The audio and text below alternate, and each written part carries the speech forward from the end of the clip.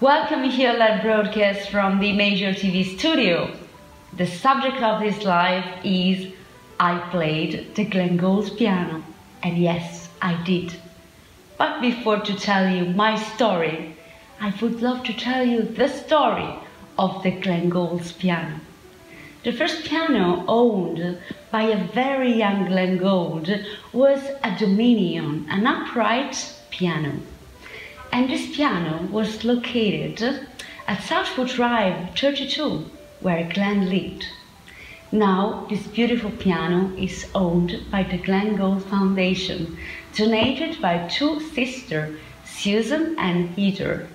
They donated the piano because it was Gould that donated to Susan the piano in 1955, and it was a beautiful signed dedication inside the piano and I suggest you to watch the video at www.glenngould.ca.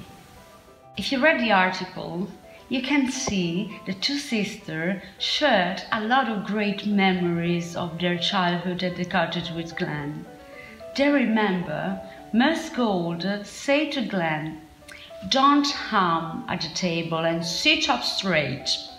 And Rainer told this to Brian Levine during the interview. A minute later, it'd be humming again and it tapping its finger again. So it's very funny memories, and I suggest you to read it. And now I would love to play for you guys uh, a piece from the Goldberg Variations.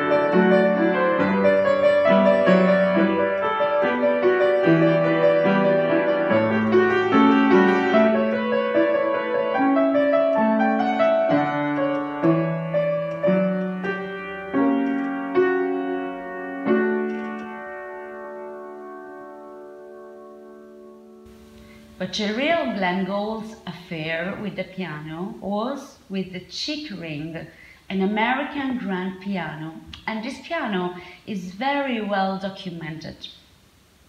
Glenn Gould loved his light tone, especially for the music of Bach.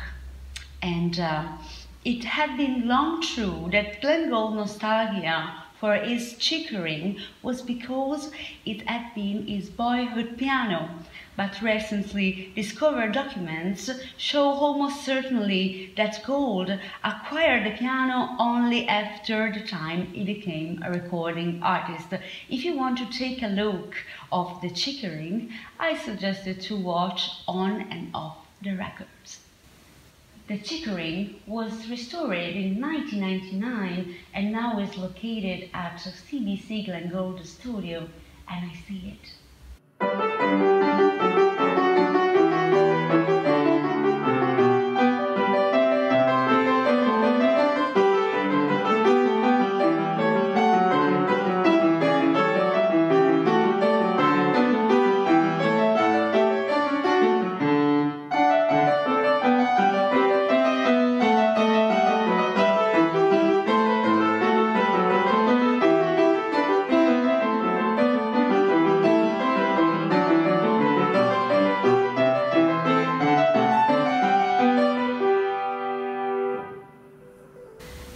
Piano owned by Glenn Gould was the Steinway CD318. This piano accompanied Glenn for, oh, almost part of his career, and he discovered this piano at Eaton's auditorium. This piano was used and abused, and the artist was not so happy to play it when they came at Eaton's auditorium. But when Glenn discovered it, he felt in love with this piano. At the beginning, he called Vern Edquist for tune it, and uh, he was his traveling companion as his chair.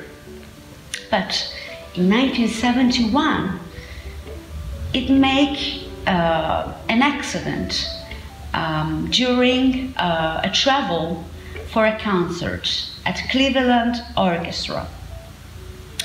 And at the last minute, the piano fell off of the truck. And then Glenn had to cancel the concert. He says claiming to have a cold. So the CD 318 came back at Eaton's auditorium. And of course, uh, Glenn called and recalled for Vern Edquist to tune it again. But the cast iron plate was cracked. So something was terribly wrong. The piano had been dropped. So Glenn was heartbroken. It was a disaster and spent a decade in fruitless attempt to restore the CD318, its former glory. But there was nothing to do, and um, Glenn was resigned to say that CD was una unable to play it again. Edquist spent a lot of hours for fixing the damage. The closest I ever came to quitting, he later says. So he recording a lot of beautiful music on this CD 318 Steinway. And then he passed to another piano for recording his last famous record. On the CD 318 Steinway, Glenn Gould recorded his famous first recording, the Goldberg Variations. And now this piano is located in Ottawa,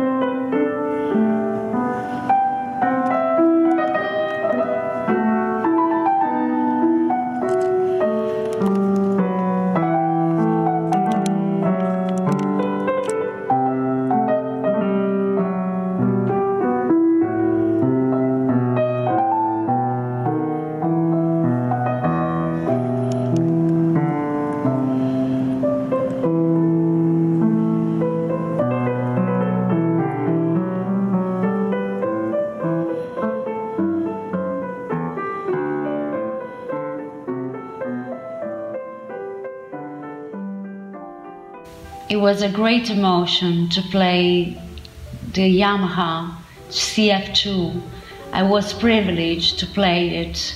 This piano was uh, restored recently and um, it was magical. What I can say, I, I perceived the Glenn Gould energy, I felt him. And uh, yes, it was a very different piano. I never played a piano with these light keys. Um, when you play faster, it responds at your fingertip uh, very quickly. And um, now this piano is located in a beautiful location in the downtown district, Roy Thomson Hall. And you know, it was magical.